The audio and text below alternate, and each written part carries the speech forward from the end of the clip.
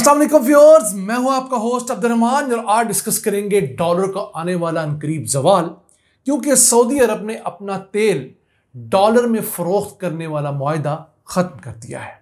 जी हाँ इस वक्त दुनिया में अगर डॉलर छाया हुआ है तो उसकी बड़ी वजह यह है कि दुनिया में ट्रेड होने वाला 80 फ़ीसद खाम तेल पेट्रोल डीजल डॉलर के अंदर खरीदा और बेचा जाता है। इसी वजह से दुनिया के तकरीबन तमाम ममालिक को डॉलर की ज़रूरत पेश आती है। वो डॉलर या कमाते हैं या कर्जा लेते हैं और अमेरिका की मौज लगी हुई है। लेकिन ये सब कुछ मुमकिन हुआ था एक पेट्रो डॉलर एग्रीमेंट के तहत जो 8 जून 1974 को साइन हुआ था सऊदी और अमेरिका के दरमियान, जो 9 जून 2024 को अपने 50 साल मुद्दत मुकम्मल होने के बाद ख़त्म हो गया है और सऊदी अरब इस एग्रीमेंट को रिवाइज नहीं करना चाहता। अगर तो सऊदी अरब इस एग्रीमेंट को रिवाइज नहीं करता या एक्सटेंड नहीं करता तो इसके सबब जो डॉलर की मनोपली है, वो ख़त्म हो जाएगी।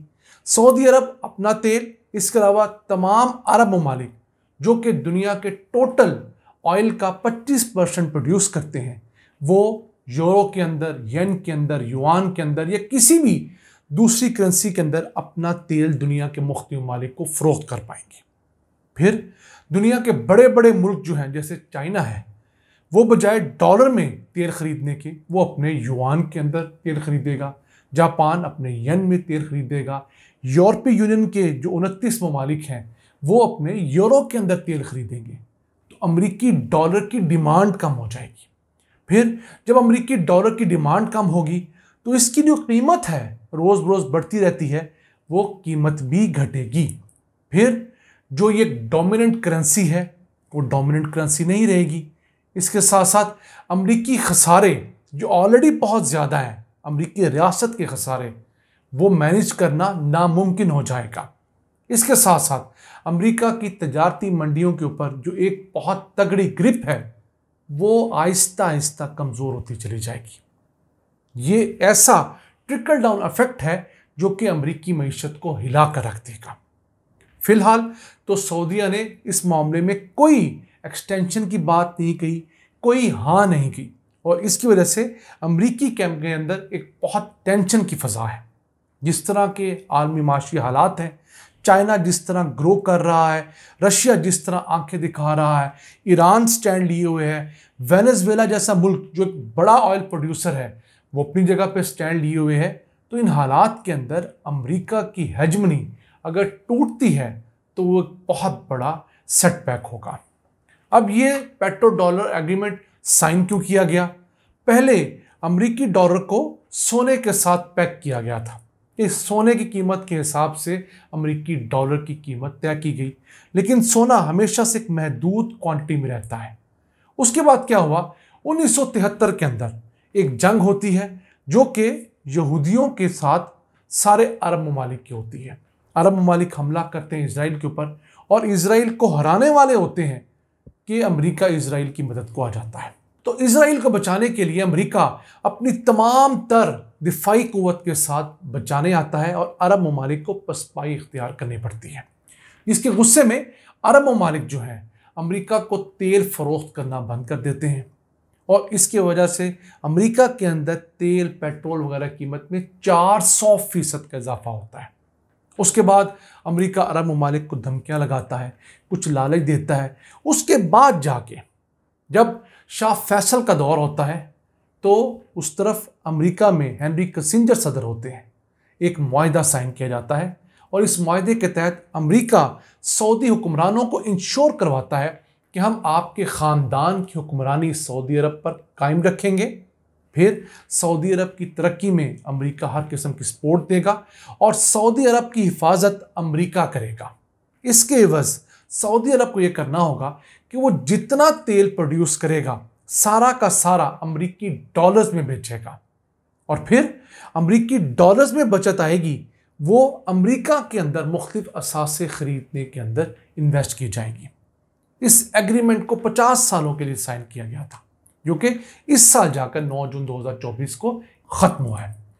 तो इस एग्रीमेंट के बाद अमेरिका ने अपनी फ़ौजें बाकायदा तौर पर सऊदी अरब में स्टेशन भी रखी और पिछले साल तक 2700 अमरीकी फ़ौजी सऊदी अरब के अंदर डिप्यूटेड थे। इसी एग्रीमेंट की वजह से सऊदिया के बाद दीगर जो बड़े अरब ममालिक हैं, कतर, बहरीन, यूएई, उन्होंने भी अपनी तमाम की तमाम ऑयल प्रोडक्शन जो है, वो डॉलर्स के अंदर करना शुरू की और जो डॉलर्स का मुनाफा था बचत थी, उसे फिर अमरीकी मंडी के अंदर, ट्रेजरी के अंदर, मुख्तलिफ़ असासों के अंदर इन्वेस्ट किया, अमरीका डबल फ़ायदा ले गया। और इसी वजह से डॉलर इतना तगड़ा रहा और यही टर्म ईजाद की गई पेट्रो डॉलर यानी कि पेट्रोल के साथ डॉलर को लिंक किया गया है। ये एक असलाह ज़ुबान जद आम है। अब दुनिया के बहुत सारे मुल्क अपनी करेंसी के अंदर या तो ट्रेड कर रहे हैं ऑयल की या दीगर करेंसीज में कर रहे हैं। मसलन चाइना बहुत सारा तेल ईरान से ख़रीद रहा है, रूस से ख़रीद रहा है, जो कि यूएस डॉलर में नहीं है। रूस बहुत सारा तेल यूएस डॉलर के अलावा बेच रहा है। इसके अलावा वेनेजुएला दीगर करेंसीज के अंदर अपना तेल बेच रहा है। और याद रहे वेनेजुएला के पास दुनिया में सबसे ज़्यादा ऑयल के रिजर्व्स हैं। सऊदिया से भी ज़्यादा रिजर्व्स वेनेजुएला के पास हैं। क्योंकि वेनेजुएला के साथ यूएस की लगती है इसलिए उसके ऊपर सेंक्शन लगाई हुई हैं। फिर तीसरा बड़ा मुल्क, ईरान, उसके ऊपर भी यूएस ने सेंक्शन लगाई है, उसके साथ भी पाबंदी है। तो ये जो एक बहुत बड़ी डेवलपमेंट हो रही है, इसके बाद उम्मीद है कि अमेरिका को मुँह की खानी पड़ेगी।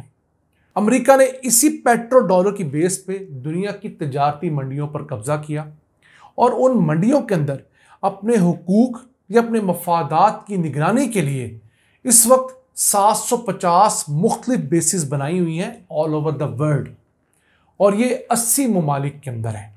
अब सोचिए कितनी बड़ी तादाद है। और इनके अंदर एक लाख अड़सठ हज़ार अमरीकी फ़ौजी तैनात हैं। यानी जितनी एक मुनासब दर्जे के मुल्क की टोटल फ़ौज होती है, उतनी तो अमेरिका ने दुनिया के तमाम मुल्कों के बड़े बड़े पॉइंट्स के ऊपर फ़ौज तैनात कर रखी है। अब अपनी बेसिस और खुले पानियों पर अपना कब्जा कायम रखने के लिए अमेरिका ने 11 एयरक्राफ्ट कैरियर दुनिया में फैला रखे हैं।